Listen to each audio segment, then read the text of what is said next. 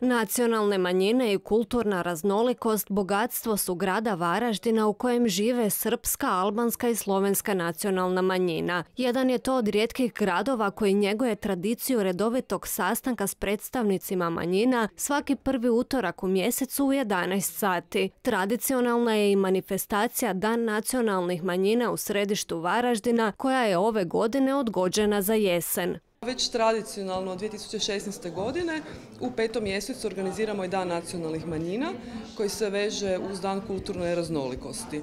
Ove godine naravno nije bilo moguće organizirati taj dan, on se obično događa tu vani ispred gradske vijećnice na otvorenom, ali nekako smo zaključili da ako će nam prilike dozvoljavati na jesen da ćemo to svakako tada učiniti, da svi naši građani zapravo vide kako bogatstvo imamo u ovom gradu, a i da se predstavnici nacionalnih manjina zapravo osjećaju kao dio ovoga grada što oni u konačnici i jesu. Predstavnici triju nacionalnih manjina su složni. Život u Varaždinu je ugodan, a s gradom njeguju dobar odnos i suradnju. Mogu vam samo reći da smo se ukomponirali, uključili i nekako se ne osjećamo da smo mi neka nacionalna manjina.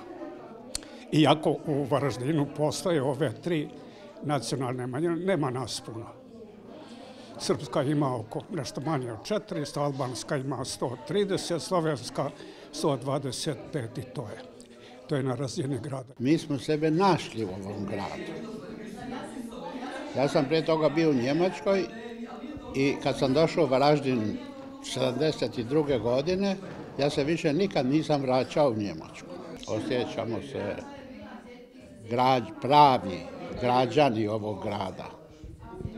Tako da ovaj niti ko nas razlikuje, niti mi koga razlikujemo, nego svi smo ljudi, svi se dobro slažemo, od grada, županije, običnih građana. Mi imamo isti problem, kako recimo srpska manjina, vse manj je teh mladih. Nimajo časa, ali vse so se že toliko vključili v to, v ta, v to življenje v Hrvatskoj, da uh, enostavno se osjećaju že bolj Hrvati kot pa Slovenci. Sploh pa, če, recimo, če so mešani, tako je moj mož je Varaždinc, jaz sem Slovenka, pa so moji otroci Hrvati pravzaprav. Ne? E, tako da e, se zaradi tega imamo menj ljudi, pa menj. Imamo pa še zmer, imamo mi svoj pevski zbor, naredimo svoje predstave, kde, e, kjerkoli se pojavimo, pa ker se, se družimo, da imamo nastope, pojemo in tako naprej, tako da se mi malo se kar precej družimo. Sve njihove aktivnosti grad Varaždin prati i financijski. U gradskom proračunu godišnje se izdvaja 200 tisuća kuna, što se raspoređuje ovisno o broju predstavnika manjina, te dodatnih 15 tisuća kuna za organizaciju manifestacije Dan nacionalnih manjina.